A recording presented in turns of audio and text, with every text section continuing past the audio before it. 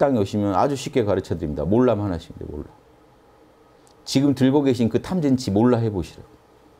몰라 하면요. 즉 무관심 해 보시라고요. 내 탐진치에 대해서 없애야지도 관심이에요. 없애야지 하면 안 없어지겠다고 더 몸부림을 치니까 조용히 힘을 빼버리는 겁니다. 너가 욕심을 부리건 말건 자신한테 그렇게 얘기해 보시라. 너가 욕심을 부리건 말건 난 모르겠어. 모르겠어 하고 힘을 뚝뚝 빼버리면요. 여러분 관심을 안 주면 생각이 전개가 안 됩니다. 관심을 주니까 전개되는 거예요. 에너지를 받아서. 이게 재밌겠구나 하니까 거기서 생각이 뻗어나가는 거예요. 근데 재밌겠구나 하지 말아보시라고요. 돈 벌면 큰 집 얻고 아주 뭐 이쁜 와이프 얻어서 잘 살면 좋지. 좋지. 이러면 이제 말리신 거고요. 보이스피싱이랑 똑같아요. 말리면 안 돼요. 좋지 하지 마시고 그러든지 말든지 몰라. 너 돈 없으면 뭐 바로 지금 길에 나가서 노숙해야 될 거야. 겁을 달콤한 얘기를 했다가 겁을 줬다고 합니다. 우리 잡념, 잡념, 번뇌, 망상. 그래야 또 내가 그러면 아이고 큰일이네 하면 또 말리는 거예요. 보이스피싱이 다 그렇죠. 달콤한 얘기했다가 무서운 얘기했다 하면서 여러분을 끌고 가는데 몰라. 그러든지 말든지 몰라. 몰라 하고 가만히 계시면 그게 참나 상태. 성령 상태. 왜?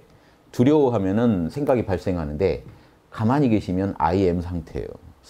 기독교에서 하나님 하나님이 자기 이름 얘기할 때 I am 그랬다고 나는 나는 나, 스스로 있는 나다. 스스로 있는 나로 한번 존재해 보시라고요. 끌려다니지 마시고 확 겁냈다가 확 좋아했다 하지 마시고 그거 다 생각 감정이니까 모른다 하고 한번 계셔 보시라. 몰라 그러다 정신이 안정을 찾고 평온해지면요. 예수님이 얘기한 보장했던 성령 받으면 같이 온다고 했던 평안이 밀려옵니다. 갑자기. 걱정이 없어지거든. 그거 지금 수시로 만나셔서 성령 참나 만나셔서 평안 누리셔야 돼요. 지금 평안을 안 누리고 계시면 지금 마음에 뭔가 번뇌가 있어요. 탐진치가 있어요.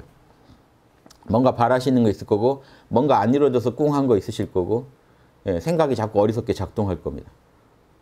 요거 멈추시려면 이거를 없애야지 하지 마시고 몰라라고 해보세요. 왜? 여러분은 원래 하나님 자녀니까 그냥 몰라 하시면 여러분 안에 있는 그런 죄성에 대해서 몰라 해버리시면 여러분의 본래 모습이 나와요. 그러니까 몰라 하고 한번 계세요.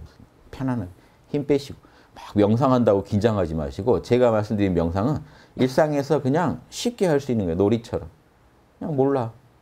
너 뭐 바라지 않았어? 몰라. 좀 전에 너 간절히 뭐 원하지 않았어? 몰라. 모른다는데 어떻게 해요? 몰라.